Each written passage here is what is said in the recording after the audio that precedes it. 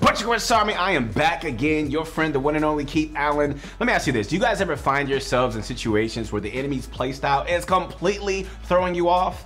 You know, and you just don't know how to react in order to win, well, soon enough, man, I'm telling you this, man, that won't ever be a problem again. Because in this video, we're gonna be going over the technique of playing correctly against every single type of player and playstyle. So by the end of this video, you are going to know the ins and outs of every single playstyle that you come against and, you know, how they play and, you know, what they're most likely to do. And most importantly, how exactly you should counter them. Knowing the things that we're gonna ensure you is gonna provide you to be a better player altogether. So stick around, Make sure you watch the entire video. I'm really excited for you. You guys ready for this?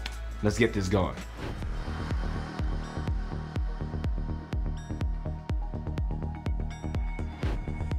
One of the most volatile players to come up against is the W keyer. Okay, so when you fight a W keying player, things can go down here for you fast, so you must make sure that you make the right decisions at the right moments. You know, one of the key attributes that makes a W keyer so hard to fight is their aggression. Aggressive players tend to play extremely fast, with their main goal being to eliminate the enemy as quickly as possible, no matter the consequences. You know, bad W keyers usually don't really care if they take a ton of damage in their fights as long as they can get the elimination, whereas smart W keyers will play aggressively and try to minimize the amount of damage that they take during the fight. And the only way to stop a W keyer from playing overly aggressive is to simply deal damage using counter peeks, making them less confident and most of the time forcing them to back off at least for a little while. So what is the best way to deal damage to a W keyer? Good question. First off, make sure that whenever you box up, always make two or three boxes rather than just one. You know, there are just multiple reasons to do this. Reason number one, it makes it harder for the W keyer to predict your location. They now have to figure out which box you are actually inside of for them to push you effectively. Since they don't know your location as easily, this can mean that you can peek and, you know, take a shot at them without them predicting it before you. Reason number two, having more than one box creates more angles. More angles to shoot from and edit from, and most importantly, more angles for you to safely piece control from. You're gonna see this all the time in pro level gameplay, man. When they box up, they almost always will rebox to create more space for them to work with. Secondly, when you're fighting an aggressive W you're most likely going to be constantly, you know, backing up away from the enemy because of how fast they like to rush you. This means you need to get good at keeping opponents away at a distance. And the best way to keep a safe distance from a W keyer is to constantly switch over across the grid tiles. If you're not sure what, what a grid tile is, it's pretty much the square grid pattern that all the builds on the map have to abide by and have to be placed along. So if you're holding a wall and the W keyer is trying to take or break, you know, through it, you know, you can always just mirror the opponent's movement and just swap boxes with them and just go across the grid line. And this is going to make it a lot harder for them to eliminate you since it pretty much guarantees that a wall is always going to be in between you and your opponent as long as you're good at, you know, replacing walls consistently.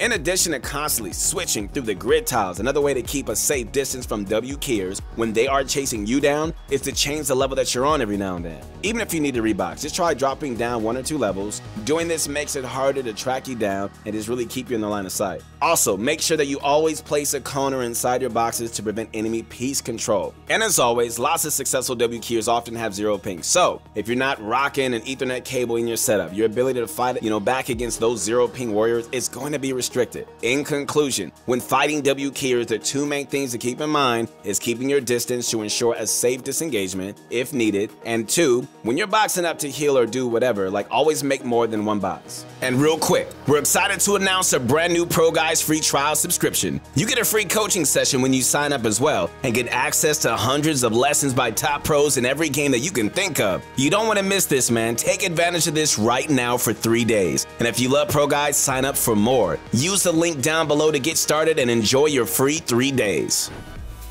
All right, so the second type of player that you should learn to counter is that, you know, is what we term the waiters. So in other words, the players that like to move when you do, like playing passively until they find the chance to strike back. And so while this is definitely a smart playstyle, it is also super annoying to come against, especially during box fight scenarios. It's important to know, man, like this is not the same as the camper playstyle, since a camper is usually scared to make a move no matter the situation and will hide in their boxes for as long as they can. One of the plays that this type of player will try try to make is, you know, they're gonna box up in metal or brick and just wait. The second that you try to pickaxe at their wall, they're gonna edit, box you up, and hit a 200 pump. You know, they wait and react to what you do. They usually avoid W keying unless they absolutely have to. So some of the best ways to go about these types of situations are to establish piece control and just, you know, just establish it around you before you go for the pickaxe. This is gonna make it so that even if the enemy does predict your pickaxe swing and edit just at the right time, you can edit either a cone or a ramp in front of you to stop them from hitting a pump shot. And since all the walls around you are already yours, you don't have to worry about getting trapped or piece control.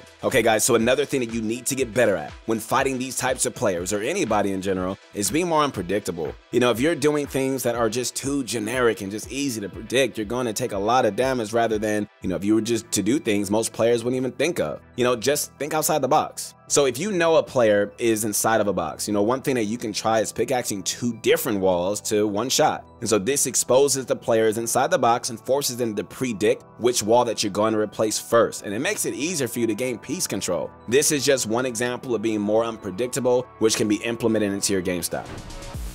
Low ground warriors are some of the most unexpectedly skilled players in the game, and for a good reason as well. Playing from low ground seemingly has more negatives than positives, but that doesn't stop some pros from mastering the ability to play skillfully from below. You know, one trait which all low ground pros have in common is an amazing movement and positioning awareness. So, if you're able to put a stop to their good positioning and force them to tough positions, like you're going to be more likely to counter their playstyle and just get a free elimination. Alright guys, so one way to counter low ground warriors is to stop yourself from over peeking. Over peeking is what most low ground warriors need to deal damage. They often look straight up at height and just shoot any players who over peek with a shotgun. So next time that you're on height and you know somebody's below you and they're looking for an easy shot, just make sure to place one more cone around you and just protect yourself from side jump shotgun shots. On top of that, you should always try to double floor cone areas where you think a low ground warrior is going to move to. And so if you manage to do this and you predict their movement, I mean, you can just edit those place builds and get a free shot on them. Okay, so one way to counter their amazing movement is to keep a safe distance and make sure you stay aware of piece control. Similar to W if you keep a fair distance, they won't be able to to use their movement to confuse you and you can stay ahead of the situation.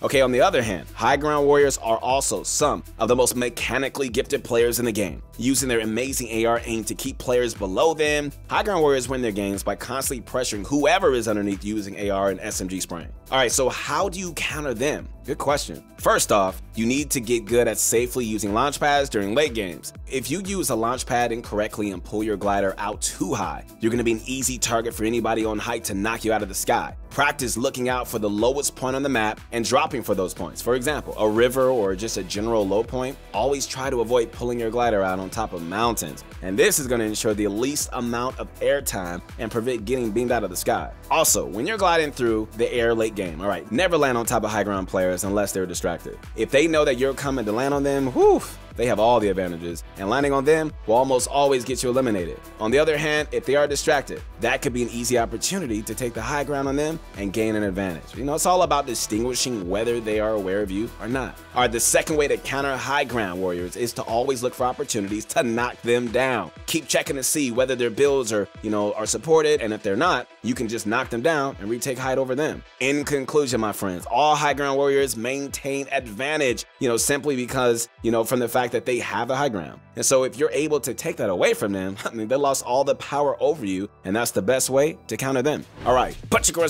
let's do a recap. Whenever you box up while running from a W keyer, all right, always make sure to create two or three boxes rather than just one. This is gonna create more space and angles to really work with and make the W keyer just more open to counter peaks, piece control, and all sorts of stuff. It also makes it harder for them to predict your location. All right, try to keep your W keyers away or at a distance using the grid tiles to really create more walls in between you and your opponent. Another way to keep a safe distance is to change your level. Confuse the enemy, just make them impatient. All right, quick tip. If you don't already, buy yourself an ethernet cable, please. This is gonna ensure less ping variation. All right, when pickaxing a player's wall who has a passive aggressive, you know, waiting playstyle, always remember to secure piece control around you before going for a pickaxe. This prevents you from getting boxed up when they edit the wall. Always try to be less predictable, guys, especially you know, deep in your games, you know, little random switch ups can really throw off an enemy and really get you an easier elimination. Never over peek during your games. Or low ground warriors, they're gonna literally be there to eat you up. All right, become more confident with using launch pads late game, and this is going to make getting beamed out of the sky less likely.